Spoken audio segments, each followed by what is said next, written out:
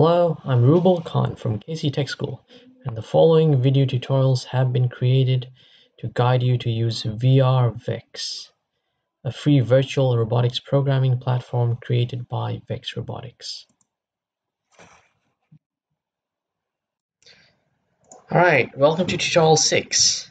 Hope you've been having a good time, yeah? Now if you still remember what the challenge was in tutorial 5, um, we actually went through how to draw that red square.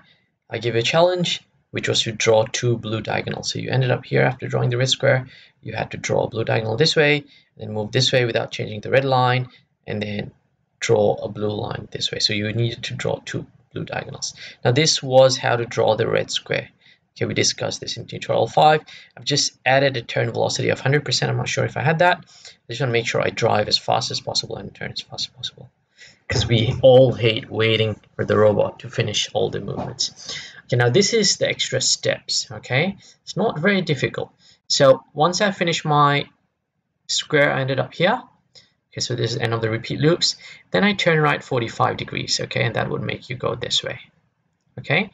And then set the color blue, which is obvious. Now drive forward to 2545. This is the number that you needed to calculate using Pythagoras theorem taking this to be the hypotenuse and this is a right angle triangle. This hypotenuse squared would be equal to this side squared plus this side squared and I'm talking about the length right? And once you get the square of the hypotenuse you simply square root that to get 2545 if you don't know Pythagoras theorem that's okay. Use trial and error. Use a bit of a ratio to get that number. It takes a bit longer. So once you get that make sure you move your robot pen up once you're at this position so that you don't draw your blue line over the red so keep going this way. Before that, you turn left 135 because you're facing this side. 135 will make you face this way. And then you move forward for 1008. And then you turn left 135 again to face this way. Next thing you do, you bring your robot pen down. It's already blue, so you don't have to choose blue again. And then you drive forward for 2545. You end up here. Let's see how this turns out. So that's driving. That's that's the same thing we did in the previous tutorial. I've just got to go through it again before we do the diagonals. All right, that's now's the final fourth repeat loop. Okay, got it now. 45 degree turn. It's going forward for 254. That's highlighted. Now it's moving the pen up. Left for 135. Forward for 1008. It's going to turn 135 again. Moved it down and it goes for 2545. And there you go. Okay, so if you've done it, great job. All right. All right, so I'm going to stop this. The next thing I'm going to look at for this tutorial is I'm going to show you how to actually use the magnet feature. Now this is your robot. You've got electromagnet here. If you activate this electromagnet or energize it, you can actually pick up any magnetic um, discs or any kind of magnetic things that under, that's directly underneath this magnet. All right. So let's first go to a different arena or different grid called disk transport. All right. Looks something different. All right. So this is basically isometric view. You've got disks that you've got to pick up and then you got to bring them back and put them in the different colored zones. So you've got you've got red, you've got blue, you've got green, stuff like that. All right. Okay, let me start a new project. Okay.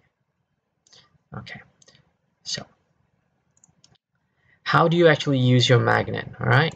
In order to use your magnet, you got to go to magnet. You got to energize. So this is the block that is important. You got to energize your magnet to boost. That means you're basically activating your electromagnet. Okay, and then you can start to pick up things that come along the way okay that comes into the path of the magnet basically.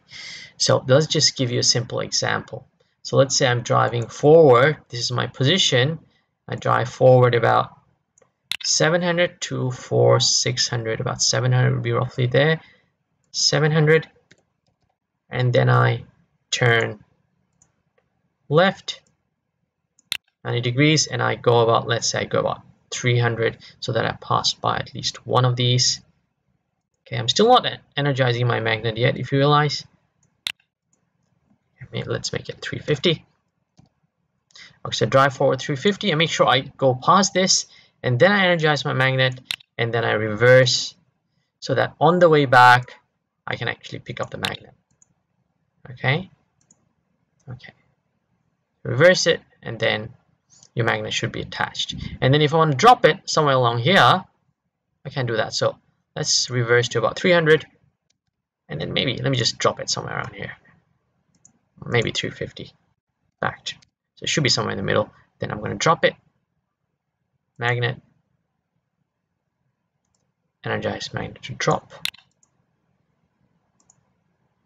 And then let me just get my robot out of the way so that you can see the, the disk being dropped. If not my robot's going to be on top of the disk. It's not very cool. So what I'm going to do now is I'm going to turn probably turn left. 90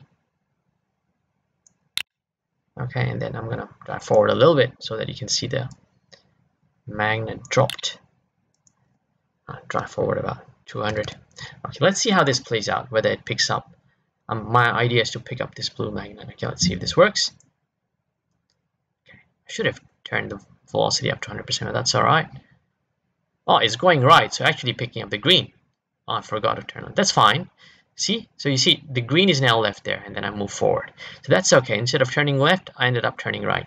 Now, that's okay to make mistake. That's where you learn. Okay, so it's, you can easily get the direction wrong, but that's okay, and then you make a change next time. But anyway, I've I've done what I've meant to do, which is to show you how to pick up a magnet, how to energize, and how to de-energize, which is to drop it. Okay, now your task. Okay, let's go back.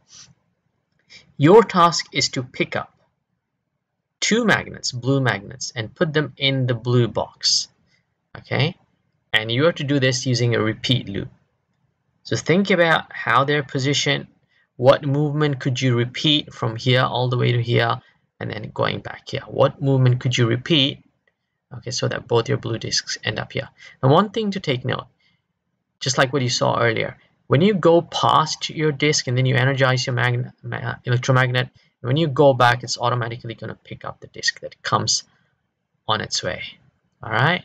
So this is a trick that you need to use. So two repeat loops. All right. And I want you to put pick up the two blue magnets and drop them here.